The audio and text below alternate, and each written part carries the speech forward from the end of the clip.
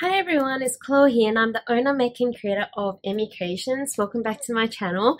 So as you know, I have been designing a lot in the background, um, especially if you follow me on Instagram, you have noticed that I have released some patterns. I have also um, already sent some patterns to testing and I've also revealed a new design as well. But there's actually one more design that I haven't revealed because I haven't made it yet and I haven't designed it yet. So I thought I would bring you guys along on the journey of designing this designing this very last um, character for my uh, Kawaii Yummy series. For the last, I think, week or two, I've just been making and designing a lot. So, and I've been spending a lot of time pulling things apart, seeing if things work or not, um, and writing the patterns down in my book and then digitalizing it on the computer. So, right now I have this last design which is going to be of a taiyaki. Um, and if you don't know what that is it's actually like a it's a Japanese pastry. It's usually of a fish and inside they usually put like red bean um, paste. Some people put ice cream in there with the red beans. Um, so I'm gonna do one where it's an ice cream bear placed inside the taiyaki uh, pastry.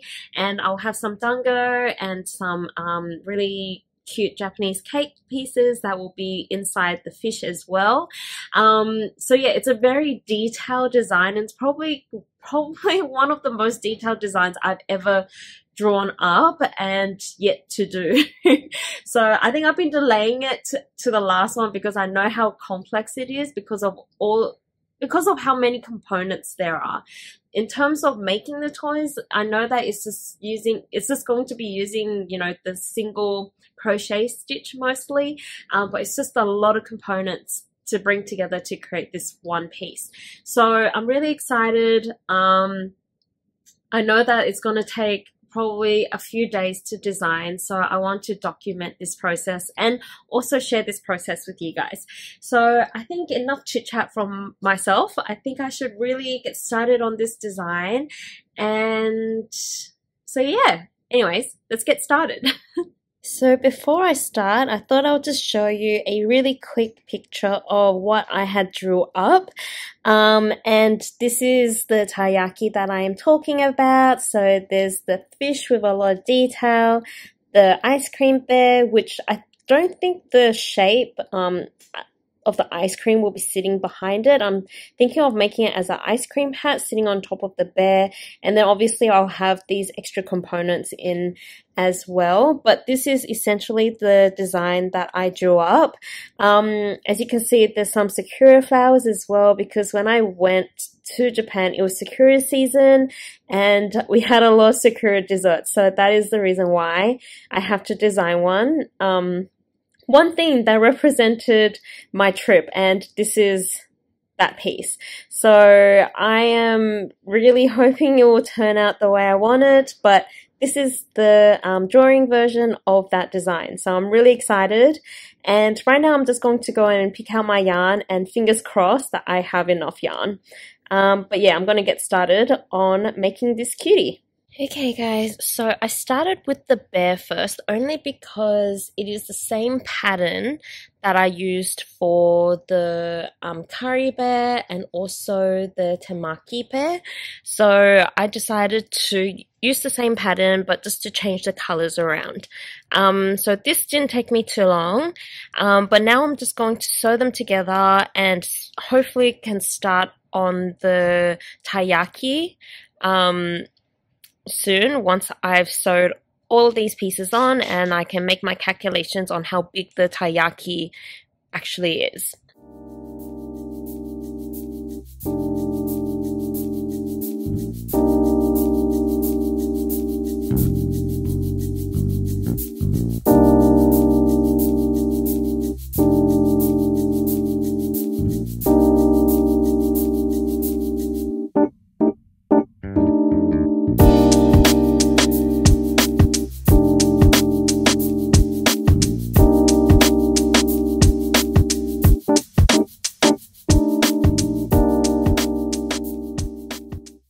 Okay guys, so here is the completed bear, which looks so cute on its own. So now I'm going to make the ice cream top, which will be its hat. Um, and I'm thinking of using a light pink, so something that's lighter than this. And I will make a ice cream hat. Um, and then once I've done that, I'm going to figure out how I'm going to do the dango, the cake, and the waffle stick as well. So let's see how that goes. And then maybe once those are done, then I will start doing the, the taiyaki.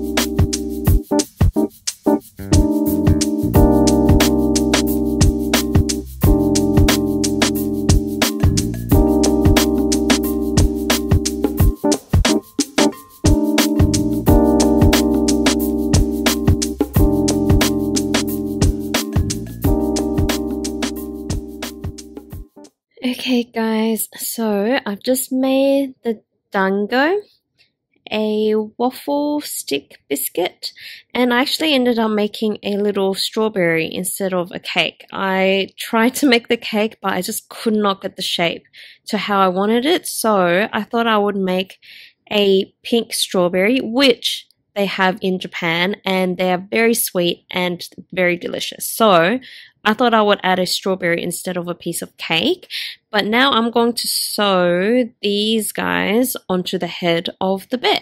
Okay guys, so I have just sewed all those little bits on and I am so happy with how it turned out.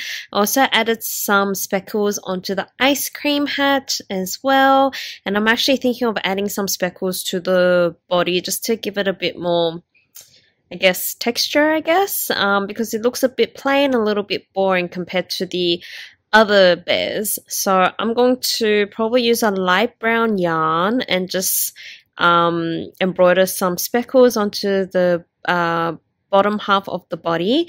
And now that this guy is done, I can probably start on the taiyaki. Um, which I'm a bit nervous about because I'm still a little unsure how I'm going to make it. But I guess, you know, I just have to get started on that. So I'm going to embroider the speckles first and then I'll get started on the taiyaki. Okay, so I've done the tail. It took me a bit of time to figure out how I wanted to wanted the tail to be. I wasn't sure if I wanted it to be plump or flat, but I opted for the flat version because I felt like that looked better. Um, I did the plump one first where I put filling in. I just thought this does not look right because a fish that the tail the tail of a fish is not usually plump, it's usually flat. So which is why I opted for that. So now I'm gonna keep going um, and keep crocheting and create its body.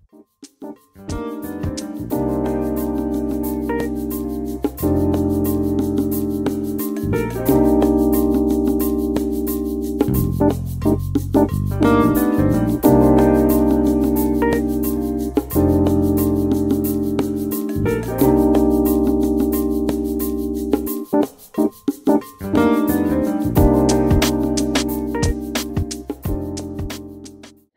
guys, I literally just pulled apart what I did with the taiyaki and essentially started again because I wasn't liking how the tail was looking. And I feel like I did a miscalculation with the rounds as well. So I basically started again. I think I'm liking this a little bit more. I kind of, the shape is looking a little bit different to the first um, try that I did. So let's see if this turns out better than last test. Okay guys, so it is the next day and I am really unsure about this. I'm not liking how the tail is when I place the stuffing in. Um, so the tail is going to be similar to how I made the curry one, where there's an extra bit that goes in, and then the bear will sit inside it, and there will be the stuffing on the bottom to bring out the plumpness. Um, but right now, when I place the stuffing in, the tail does this weird little thing. So I'm starting to think I should probably revert back to probably making the tail plump instead of flat um, just so that I can avoid this happening and see how that goes which means I need to take all of this out. Uh, I don't want to do it but I think I have to. Um but yeah it is what it is. I've I've gotten the pattern written down already so I can fix this and hopefully just keep what I've done so far. And also realize that I probably don't need this extra line of front loops uh, visible. Um, and the reason why I have these front loops is that this is going to be where the scales are going to be added um, later on in the pattern. So that's also something that I need to change. But right now I need to take all of this apart and start again. So honestly this is not fun to do because I did spend a few hours figuring this out. But honestly, you know, your first, second, or even your third attempts when designing does not always um, become the final product. I think this is my second attempt. So pulling this apart, I'm going to be attempting a third time with this taiyaki piece. So hopefully now that I've tested two options, now I'm going to try the third option and see how that works. And hopefully I won't have to be frogging it out again. But this is what it is. But honestly, this, um, I don't know if you can hear this. But it's quite satisfying even though it's really sad. oh my god. Seriously, taking it out is so much faster than crocheting all these stitches. Um, but it is what it is. If I'm not happy with a pattern, then this is what happens. I pull it all apart and I start again. So this is the reality of designing. Um, and it's unpredictable. Sometimes what you have in mind does not turn out the way you wanted, and then you need to make adjustments. And the only way to do that is to start again and pull out um, your design. So this is what's happening here right now. So sad. Oh my god, guys. This literally took me three minutes, less than three minutes to pull apart, and it took me three hours to crochet. Oh man.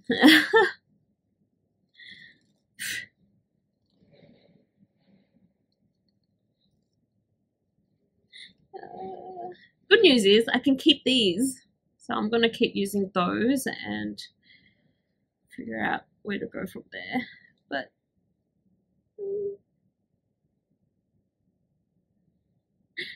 one tail is free. And, that's the second tail. And I need to start again. So today's Friday. I'm thinking I might take a break and maybe start fresh next week on this pattern. I don't know, but I'll see how I go today. But I just took it all apart and I'm just left with two tail pieces.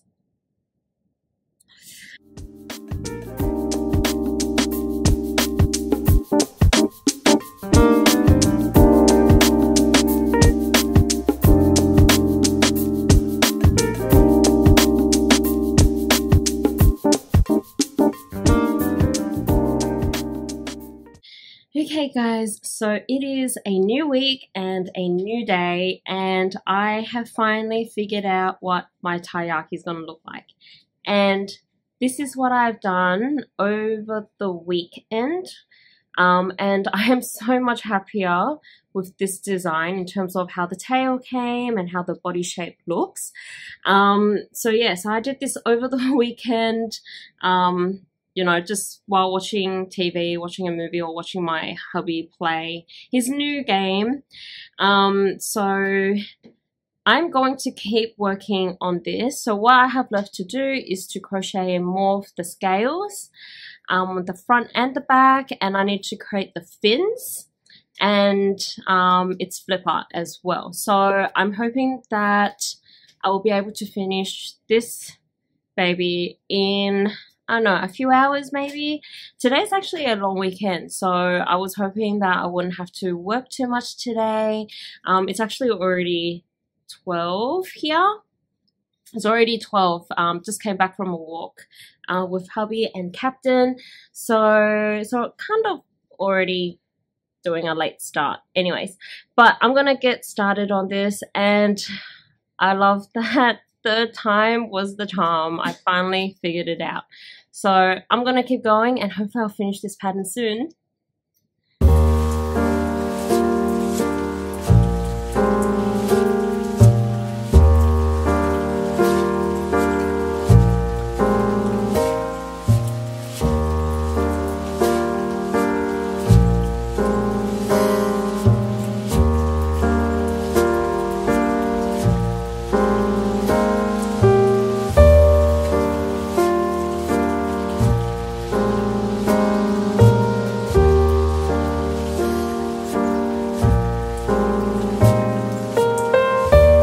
Okay guys, so I have made all the little pieces, so the fins and the eyes and this bit which I don't really know the technical name for but I will Google and find out.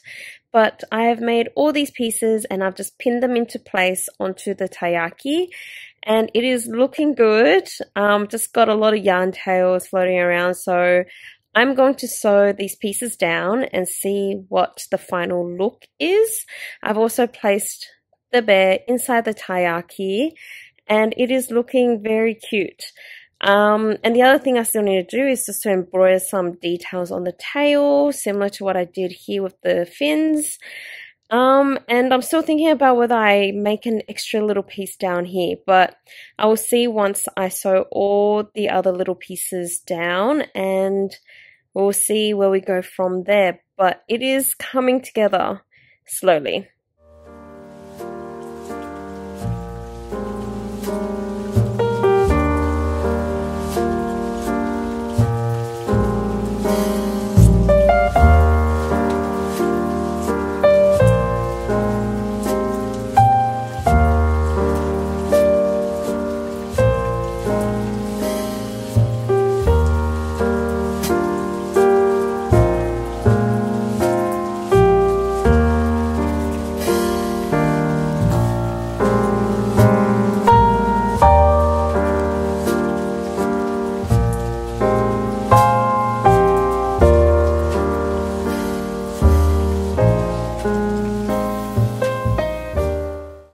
Okay guys, so I'm just in the bedroom and I'm kind of whispering a little bit because my hubby's on the phone while playing games and because like I said, it's actually a public holiday today so I'm letting him have his freedom and enjoy his time. But I just wanted to say it's finally done. I'm finally done with the Taiyaki bear design and I am so happy with how it's turned out. I was quite worried about how it was going to look and in terms of like how many times I had to pull the body apart just to get it to the right shape and everything. But I got there. I finally got there, guys. And you know, it doesn't match the drawing, but the idea of it is exactly how I wanted. Um, this toy, looking back on my camera roll, because I was taking photos as I was designing and just seeing the date that I started and the date that I finished. This toy took me five, oh no, six days. And obviously, I didn't work every hour of those days designing this, but if I was to add the hours together, it will probably come up to, you know, 45 to 50 hours of designing and making and writing the pattern down in my book.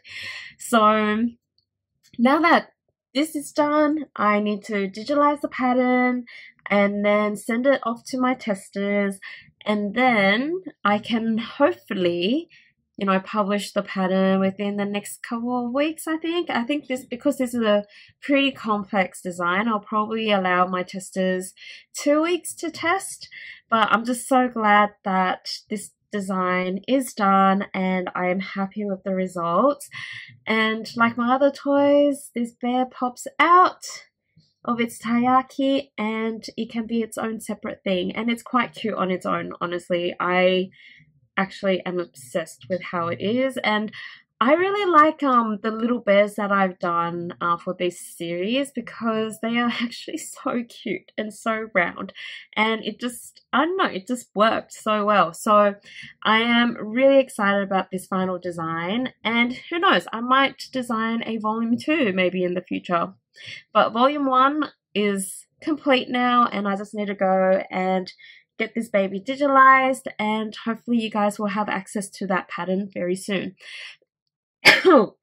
oh, excuse me. Um, so yeah, so if you have any questions about my design process and um, or just any other questions regarding this video, don't forget to put them in the comments below and I'll try and respond as soon as I can. But otherwise, if you enjoyed this video, don't forget to give me a thumbs up. Um, or even if you haven't subscribed yet, subscribe to my channel for some great content that's coming. Um, but otherwise, I really hope you guys have a great day and I'll see you all very soon. Bye!